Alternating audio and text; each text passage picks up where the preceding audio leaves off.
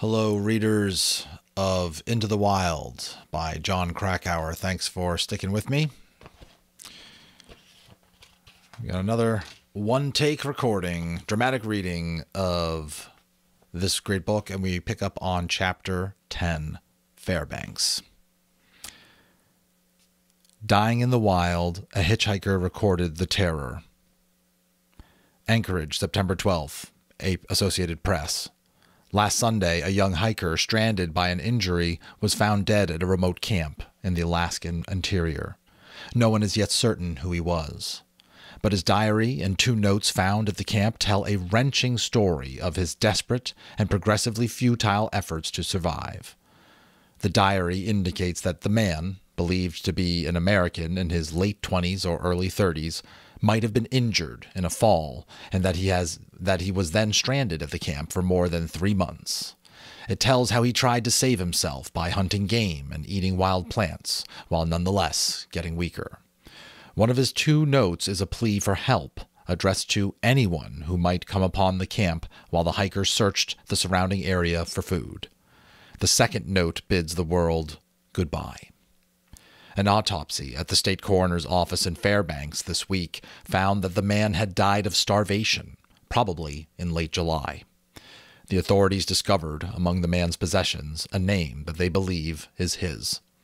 But they have so far been unable to confirm his identity, and until they do, have declined to disclose the name. The New York Times, September 13th, 1992.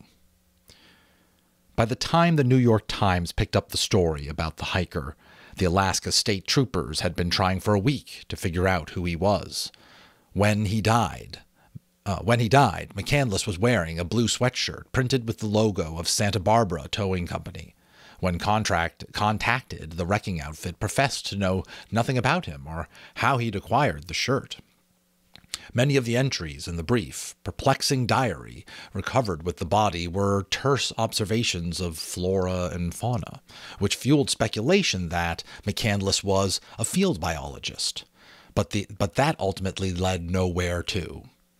On September 10, three days before news of the dead hiker appeared in the Times, the story was published on the front page of the Anchorage Daily News when Jim Gallien saw the headline and the accompanying map indicating that the body had been found 25 miles west of Healy on the Stampede Trail, he felt the hairs bristle across the base of his scalp.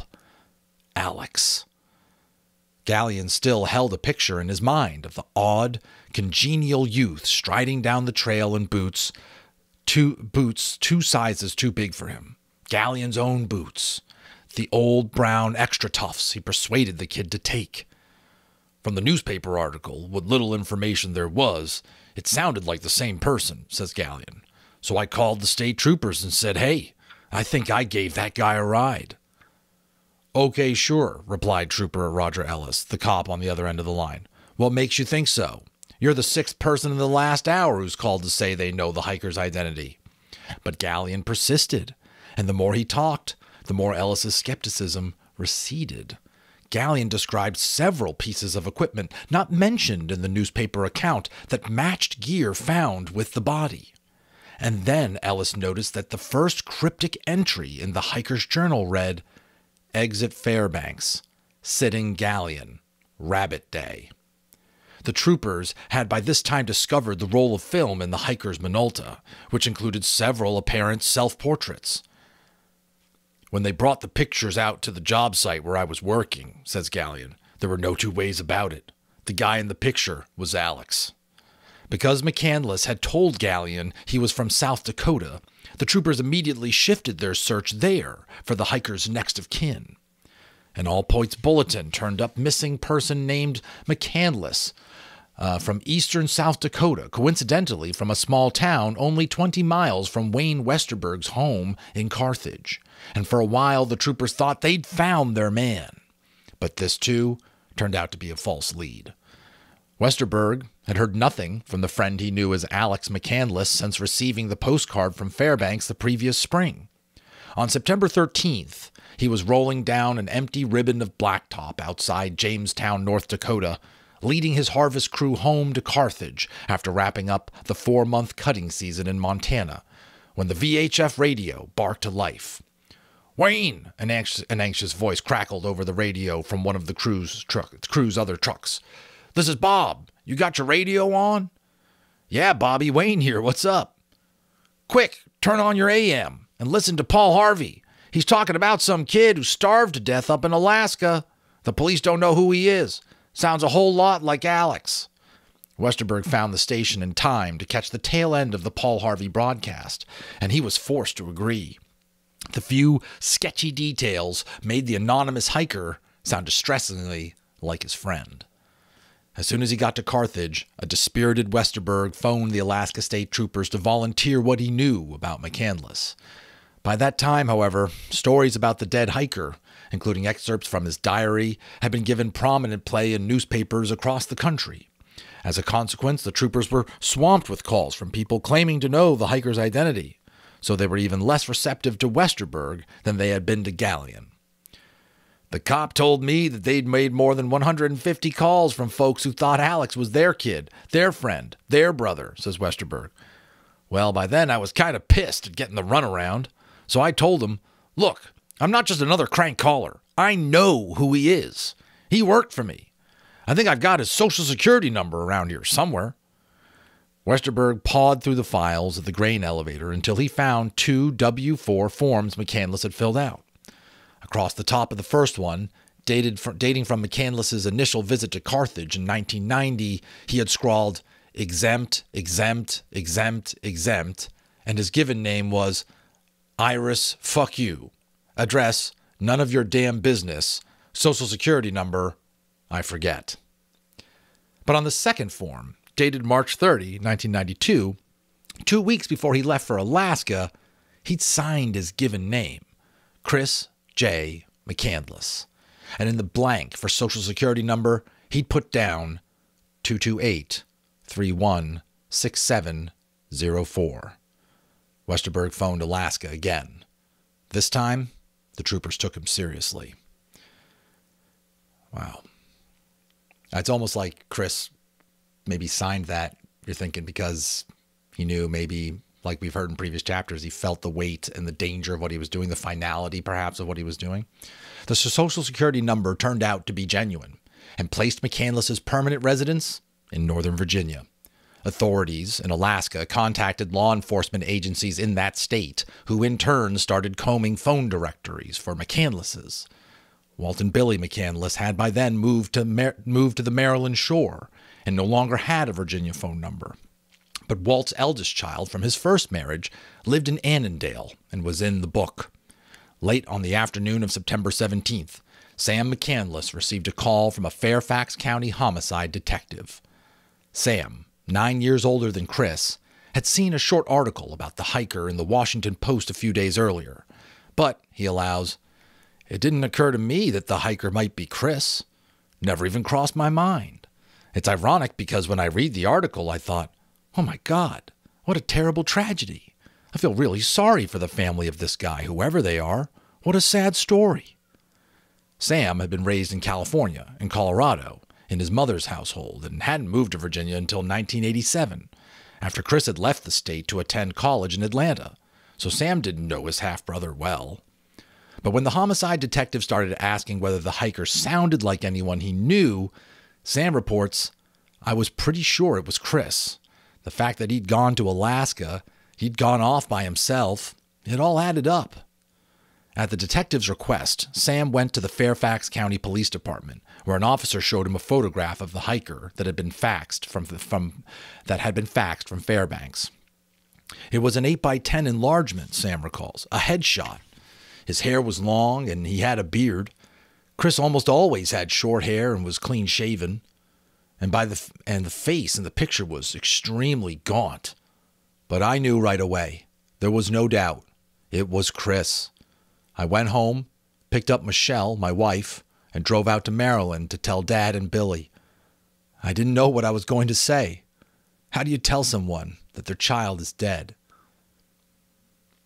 that is the end of chapter 10. But I'll tell you, we're on a we're on a tear here. I know people want to get us towards the end, so why don't we move on to chapter 11? That's right, double chapter episode happening here. Chapter 11, Chesapeake Beach. It begins with a quote Everything had changed suddenly the tone, the moral climate. You didn't know what to think, who to listen to, as if all your life you had been led by the hand like a small child, and suddenly you were on your own. You had to learn to walk by yourself. There was no one around, neither family nor people whose judgment you respected. At such a time, you felt the need of committing yourself to something absolute life or truth or beauty, of being ruled by it in place of the man made rules that had been discarded. You needed to surrender to some such ultimate purpose more fully, more unreservedly than you had ever done in the old, familiar, peaceful days, in the old life that was now abolished and gone for good. That was Boris Pasternak, Dr. Zhivago, which is a book, and the passage highlighted in one of the books found with Chris McCandless's remains.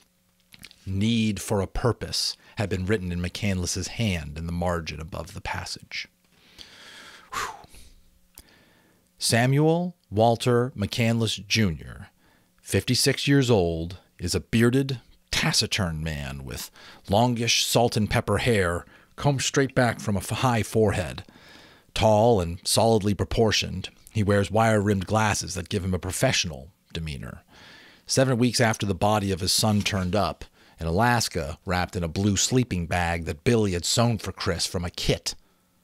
Walt, wow. Did you catch that? So Chris died in a blue sleeping bag that Billie had sewn for Chris from a kit. Walt studies a sailboat scudding beneath the window of his waterfront townhouse. How is it, he wonders aloud as he gazes blankly across Chesapeake Bay, that a kid with so much compassion could cause his parents so much pain? The McCandless home in Chesapeake Beach, Maryland, is tastefully decorated, spotless, devoid of clutter.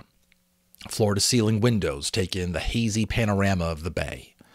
A big Chevy Suburban and a white Cadillac are parked out front.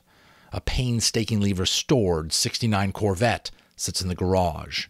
A 30 foot cruising catamaran is moored at the, dock. Four large squares of poster board, covered with scores of photos documenting the whole brief span of Chris's life, had occupied the dining room table for many days now. Moving deliberately around the display, Billie points out Chris as a toddler astride a hobby horse Chris is a wrapped eight year old in a yellow train yellow rain slicker on his first backpacking trip. Chris at his high school commencement. The hardest part, says Walt, pausing over a shot of his son clowning around on a family vacation, his voice cracking almost imperceptibly, is simply not having him around anymore. I spent a lot of time with Chris, perhaps more than any of my other kids. I really liked his company, even though he frustrated us so often. Walt is wearing gray sweatpants, racquetball shoes, and a satin baseball jacket embroidered with the logo of the Jet Propulsion Laboratory. Despite the casual attire, he projects an air of authority. Within the ranks of his arcane field, an advanced technology called synthetic aperture radar, or SAR, he is an eminence. SAR has been a component of high profile space missions since 1978, when the first SAR equipped satellite, Seasat, was placed into orbit around the Earth. NASA's project manager for that pioneering Seasat mission launch was Walt McCandless. The first line of Walt's resume reads Clearance, current U.S. Department of Defense, top secret. A little farther down, the page, an account of his professional experience begins I perform private consulting services aligned with remote sensor and satellite system design and associated signal processing, data reduction, and information extraction tasks. Colleagues refer to him as brilliant. Waltz is accustomed to calling the shots. Taking control is something he does unconsciously, reflexively. Although he speaks softly in the unhurried cadence of the American West, his voice has an edge, and the set of his jaw betrays an undercurrent of nervous energy. Even from across the room, it's apparent that some very high voltage is crackling through his wires. There's no mistaking when Chris's whence Chris wait sorry. There is no mistaking whence Chris's intensity came. From his father, if that's not obvious, from my pronunciation of that sentence. Whew.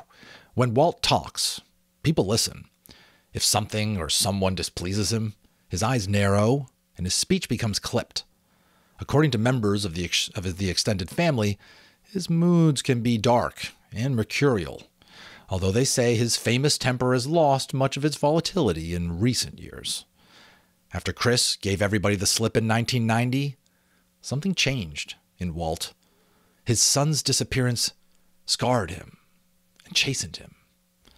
Softer, or maybe scared, I think that's scared, one R, scared, and chastened him. A softer, more tolerant side of his personality came to the fore. Walt grew up poor in Greeley, Colorado, an agricultural town on the high, windswept plains up near the Wyoming line. His family, he declares matter of factly, was from the wrong side of the tracks.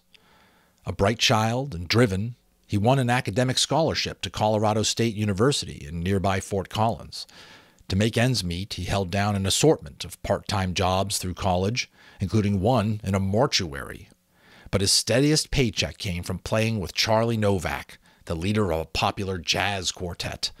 Novak's band, with Walt sitting in on piano, worked the regional lounge circuit, covering dance numbers and old standards and smoky honky tonks up and down the Front Range. An inspired musician with considerable natural talent, Walt still plays professionally from time to time. I would love to play some killer like honky tonk piano. Sounds like Chris, our protagonist, also was uh, big into piano. Really cool. Anybody here on the channel? Uh, piano players. I'd be curious uh, to hear. In 1957, the Soviets launched Sputnik 1, casting a shadow of fear across America. In the ensuing national hysteria, Con- Congress funneled hundreds, uh, funneled millions upon millions of dollars into the California-based aerospace industry, and the boom was on. For young Walt McCandless, just out of college, married, and with a baby on the way, Sputnik opened the door to opportunity. After receiving his undergraduate diploma, Walt took a job at Hughes Aircraft, which sent him to Tucson for three years, where he earned a master's degree in antenna theory at the University of Arizona. As soon as he completed his thesis, an analysis of conical heli- helices, he transferred to Hughes's big California operation, where the real action was, eager to make his mark in the race for space. He bought a little bungalow in Torrance, worked hard, moved quickly up the ladder. Sam was born in 1959, and four other children, Stacy, Shauna, Shelley, and Shannon, followed in quick succession. Walt was appointed test director and section head for the Surveyor 1 mission, the first spacecraft to make a soft landing on the moon. His star was bright and rising. By 1965, however, his marriage was in trouble. He and his wife, Marcia, separated. Walt started dating a secretary at, at Hughes named Wilhelmina Johnson. Everyone called her Billie, who was 22 years old and had dark, striking eyes. They fell in love and moved in together. Billie got pregnant. Very petite to begin with, in nine months she gained only eight pounds and never even wore maternity clothes. In February, on February 12, 1968, Billie gave birth to a son. He was underweight, but healthy and animated. Walt brought, bought Billie a Gianni guitar on which she strummed lullabies to soothe the fussy newborn. Twenty-two years later, rangers from the National Park Service would find that same guitar on the back seat of a yellow Datsun abandoned near the shore of Lake Mead. Oh, wow. Well done, Jon Krakauer, connecting us the very beginning, woof, right into the story. Because, you know, sometimes you take these segues, you hear a little bit about the backdrop, and you're sort of like, snore. But you see that, boom, how his parents were along with him along for the trip. You know, he, the son, tries to cast them out of his mind. They're never not with him in their minds. You know, and so much of where he thinks he's operating independently from is within the fabric of his own family. And I think sometimes I remember when I grew up, you really took that for granted. You really overlooked that until you become a parent yourself and try to sew that fabric and and and weave in all those ingredients so painstakingly, so haphazardly, so chancily through time. Um, yeah. Marriage was in trouble.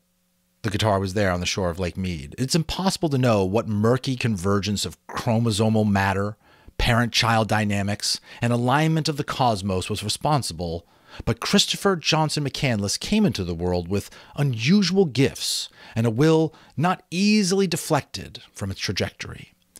At the age of two, he got up in the middle of the night, found his way outside without waking his parents, and entered a house down the street to plunder a neighbor's candy drawer. In the third grade, after receiving a high score on a standardized achievement test, Chris was placed in an accelerated program for gifted students. He wasn't happy about it, Billie remembers, because it meant he had to do extra schoolwork.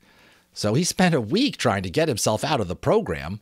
This little boy attempted to convince the teacher, the principal, anybody who would listen, that the test results were an error and that he really didn't belong there. We learned about it at the first PTA meeting. His teacher pulled us aside and told us that Chris marches to a different drummer. She just shook her head. Even when we were little, says Carine, who was born three years after Chris, he was very to himself. He wasn't antisocial. He's always had friends, and everybody liked him. But he could go off and entertain himself for hours. He didn't seem to need toys or friends. He could be alone without being lonely. When Chris was six, Walt was offered a position at NASA prompting a move to the nation's capital. They bought a split level house on Willett Drive in suburban Annandale. It, would, it had green shutters, a bay window, a nice yard.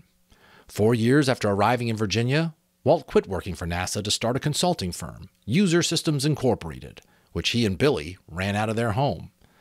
Money was tight.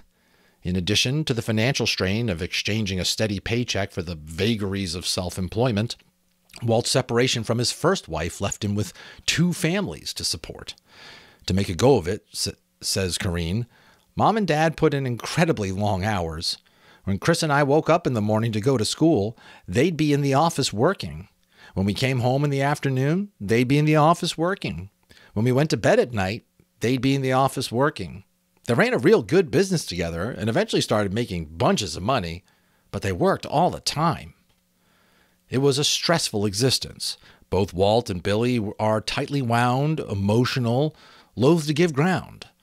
Now and then the tension erupted in verbal sparring. In moments of anger, one of the one or the other often threatened divorce. The rancor was more smoke than fire, says Carine, but I think it was one of the reasons Chris and I were so close. We learned to count on each other when mom and dad weren't getting along. But there were good times, too, on the weekends and when school was out, the family took to the road. They drove to Virginia Beach or the Carolina shore, to Colorado to visit Walt's kids from his first marriage, to the Great Lakes, to the Blue Ridge Mountains. We camped out the back of the truck, the Chevy Suburban, Walt explains. Later, we brought an Airstream trailer and traveled with that. Chris loved those trips. The longer the better. There was always a little wanderlust in the family, and it was clear early on that Chris had inherited it. In the course of their travels, the family visited Iron Mountain, Michigan, a small mining town in the forest of the Upper Peninsula. That was where uh, that was Billie's childhood home. She was one of six kids. Loren Johnson, Billie's father, obstinately worked as a truck driver. But he never held any job for long, she says. Billie's dad didn't quite fit into society, Walt explains. In many ways, he and Chris were a lot alike. Loren Johnson was proud and stubborn and dreamy, a woodsman, a self taught musician, a writer of poetry. Around Iron Mountain, his rapport with the creatures of the forest was legendary. He was always raising wildlife, says Billie. He'd find some animal in a trap, take it home, amputate the injured limb, heal it, and then let it go again. Once my dad hit a mother deer with his truck, making an orphan of its fawn. He was crushed, but he brought the baby deer home and raised it inside the house, behind the wood stove, just like it was one of his kids. To support his family, Loren tries tried a series of entrepreneurial ventures, none of them very successful. He raised chickens for a while, then mink and chinchillas. He opened a stable and sold horse rides to tourists. Much of the food he put on the table came from hunting, despite the fact that he was uncomfortable killing animals. My dad cried every time he shot a deer, Billie says. But we had to eat it, so he did it. He also worked as a hunting guide, which pained him even more. Men from the city would drive up in their big Cadillacs, and my dad would take them out to his hunting camp for a week to get a trophy. He would guarantee them a buck before they left, and most of them were such lousy shots and drank so much that they couldn't hit anything, so I'd usually have to shoot the deer for them. God, he hated that. Loren, not surprisingly, was charmed by Chris, and Chris adored his grandfather. The old man's backwoods savvy, his affinity for the wilderness, left a deep impression on the boy. When Chris was eight, Walt took him on his first overnight backpacking trip, a three day hike in the Shenandoah to climb Old Rag. They made the summit, and Chris carried his own pack the whole way. Hiking up the mountain became a father son tradition. They climbed Old Rag almost every year thereafter. That's awesome. I would love to do something like that with, uh, with my kid. When Chris was a little older, Walt took Billie and his children from both marriages to not my one kid, my any of my kids, right? You don't care. Uh, when Chris was a little older, Walt took Billie and his children from both marriages to climb Long's Peak in Colorado at 14,256 feet, the highest summit in Rocky Mountain National Park. Walt, Chris, and Walt's youngest son from his first marriage reached the 13,000 foot elevation. There, at a prominent notch called the keyhole, Walt decided to turn around. He was tired and feeling the altitude. The route above looked, slab- looked slabby, exposed, dangerous. I'd had it, okay, Walt explains, but Chris wanted to keep going to the top. I told him no way. He was only 12 then, so all he could do was complain.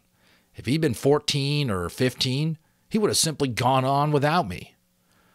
Walt grows quiet, staring absently into the distance. Chris was fearless, even when he was little, he says after a long pause. He didn't think the odds applied to him. We were always trying to pull him back from the edge. Chris was a high achiever in almost any everything that caught his fancy. Academically, he brought home A's with little effort. Only once did he receive a grade lower than B, an F, in high school physics. When he saw the report card, Walt made an appointment with the physics teacher to see what the problem was.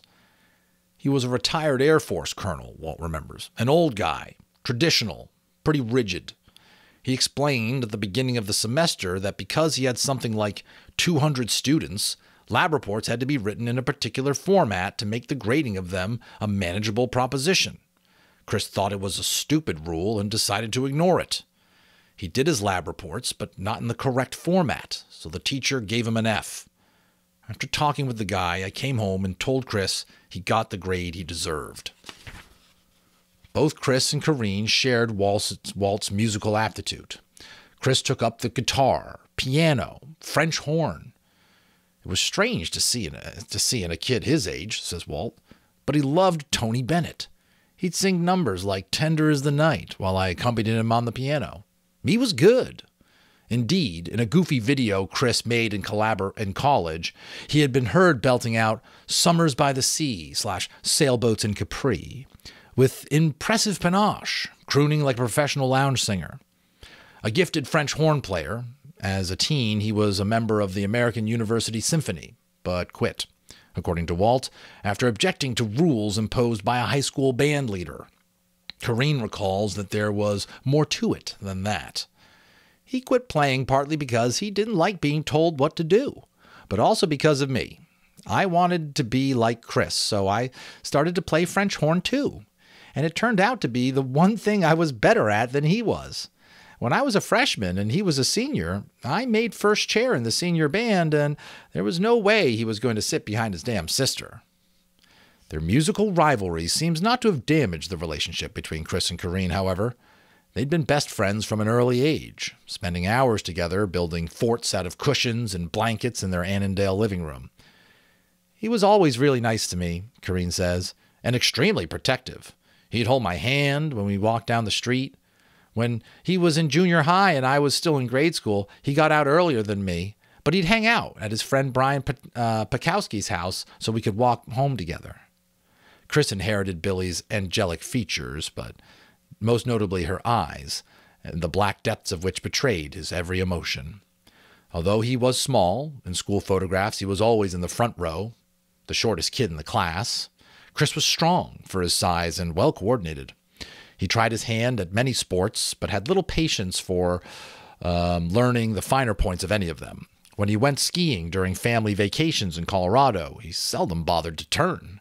He simply crouched in a gorilla tuck, feet spread wide for stability, and point the board straight down the hill.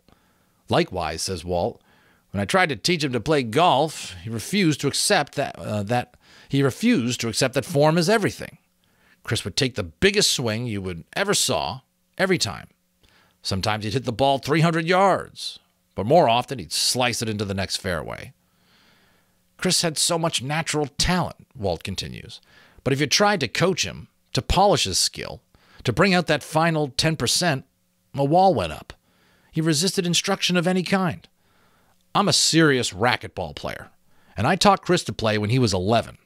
By the time he was 15 or 16, he was beating me regularly. He was very, very quick and had a lot of power.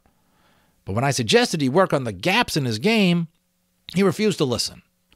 Once in a tournament, he came up against a 45 year old man with a lot of experience. Chris won a bunch of points right out of the gate, but the guy was methodically testing him, probing for his weaknesses. As soon as he figured out which shot gave Chris the most trouble, that was the only shot Chris saw, and it was all over. Nuance, strategy, and anything beyond the rudimentaries of technique were wasted on Chris.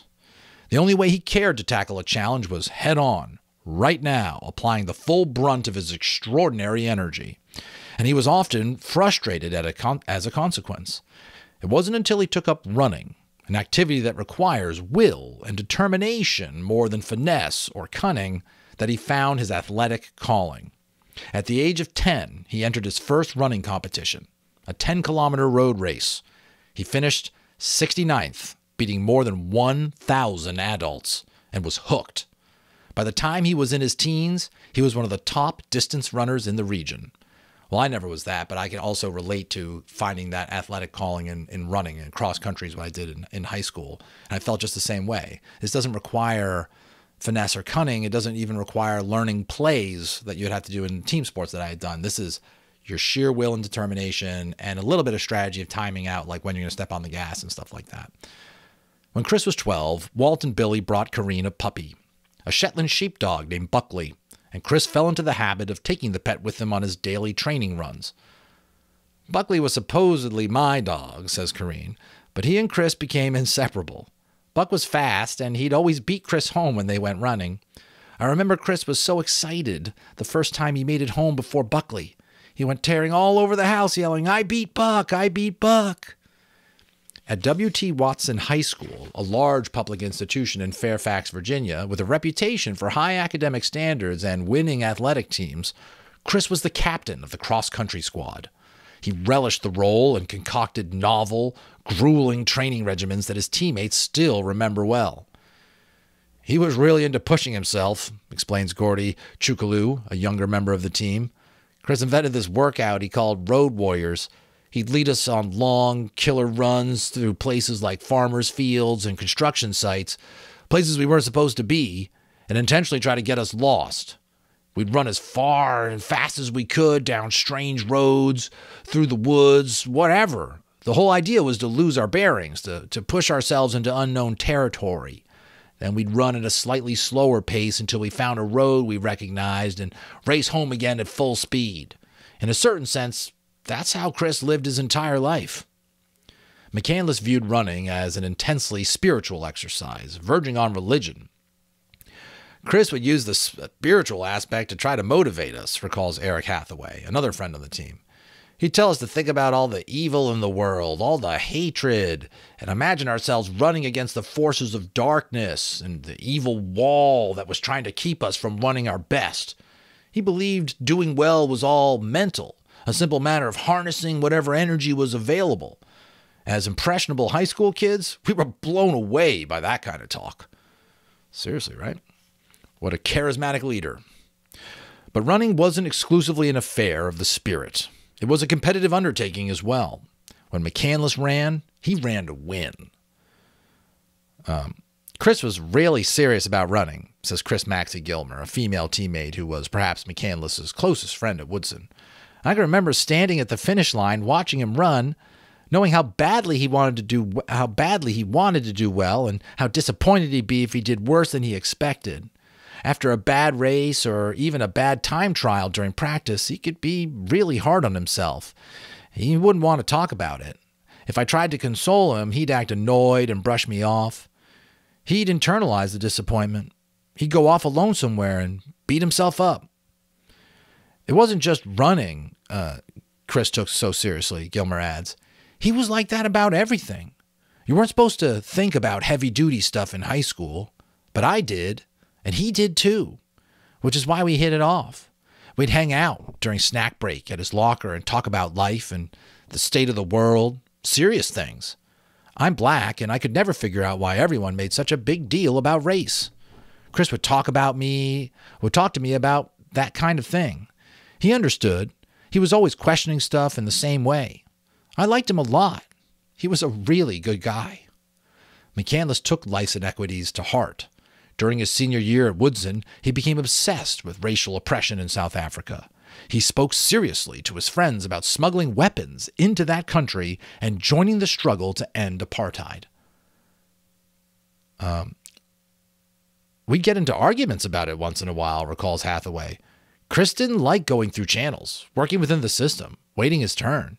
He'd say, Come on, Eric, we can raise enough money to go to South Africa on our own, right now. It's just a matter of deciding to do it. I'd counter by saying we were only a couple of kids and that we couldn't possibly make a difference. But you couldn't argue with him. He'd come back with something like, Oh, I guess you just don't care about right and wrong. On weekends, when his high school pals were attending keggers trying to and trying to sneak into Georgetown bars, McCandless would wander the seedier quarters of Washington, chatting with prostitutes and homeless people, buying them meals, earnestly suggesting ways they might improve their lives. Chris didn't understand how people could possibly be allowed to go hungry, especially in this country, says Billie. He would rave about that kind of thing for hours. On one occasion, Chris picked up a homeless man from the streets of D.C. and brought him home to leafy, affluent Annandale and secretly set the guy up in the Airstream trailer his parents parked beside the garage. Walt and Billie never knew they were hosting a vagrant. On another occasion, Chris drove over to Hathaway's house and announced they were going downtown. Cool, Hathaway remembers thinking. It was Friday night, and I assumed we were headed to Georgetown to party. Instead, Chris parked down on 14th Street, which at the time was a real bad part of town. Then he said, You know, Eric, you can read about this stuff, but you can't understand it until you live it. Tonight, that's what we're going to do. We spent the next few hours hanging out in creepy places, talking with pimps and hookers and lowlife.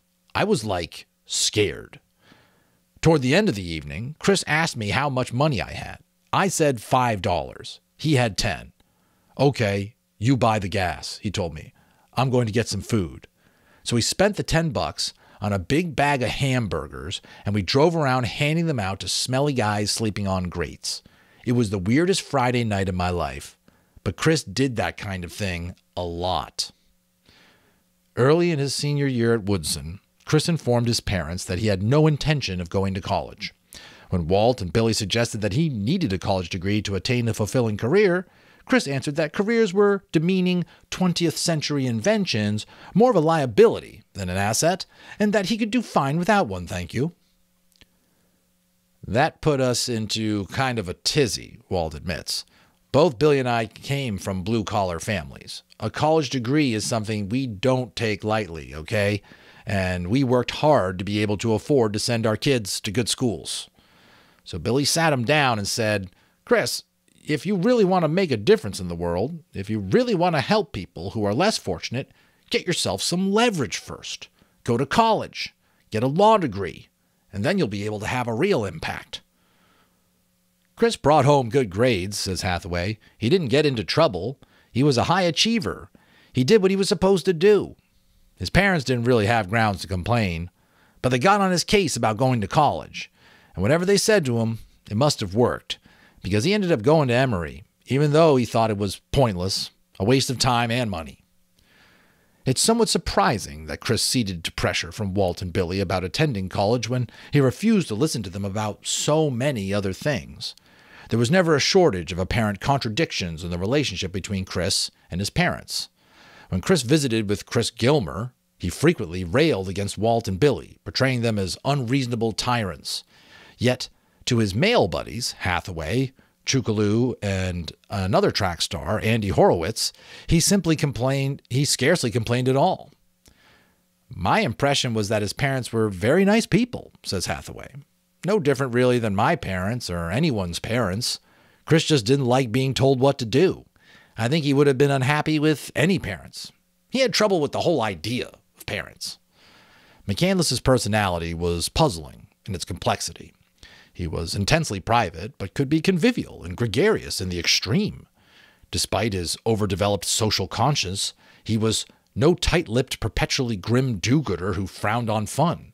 To the contrary, he enjoyed tipping a glass now and then, and was an incorrigible ham.